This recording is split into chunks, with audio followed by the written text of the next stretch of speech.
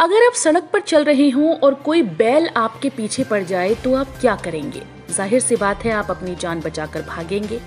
लेकिन अगर आप खुद ही किसी बैल के सामने जाकर खड़े हो जाएँ तो इसे क्या कहा जाएगा?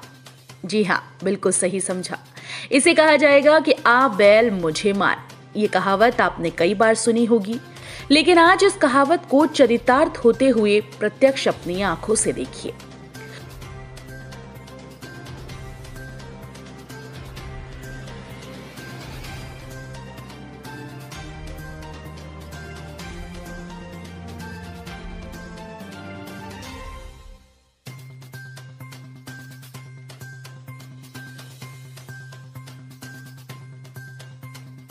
वीडियो में आप देख पा रहे हैं कि एक सड़क है जो ऑलमोस्ट खाली है।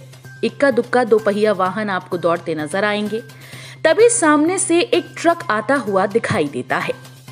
ट्रक को बिल्कुल क्लियर है कि उसे आगे जाकर किस रास्ते पर टर्न होना है।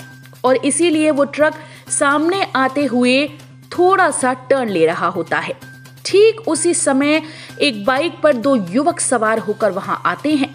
और ट्रक के बिल्कुल सामने आकर अपनी बाइक को रोक देते हैं। ये देखकर ट्रक चालक हक्का बक्का रह जाता है और अचानक से अपनी ब्रेक लगाता है, लेकिन रुकते रुकते भी वो ट्रक बाइक के ऊपर चढ़ ही जाती है। वो तो गनीमत रही कि दोनों बाइक सवार एक एक करके बाइक से उतर जाते हैं और उनकी जान बच जाती है। लेकिन उसके बाद भी जनाब का एटीट्यूड देखिए। पहले एक बाइक सवार आता है और ट्रक चालक को देखता है। फिर दूसरा आता है और ट्रक के दरवाजे को खोलने का प्रयास करता है। अब आप ही बताइए कि इस पूरे घटनाक्रम में गलती किसकी है?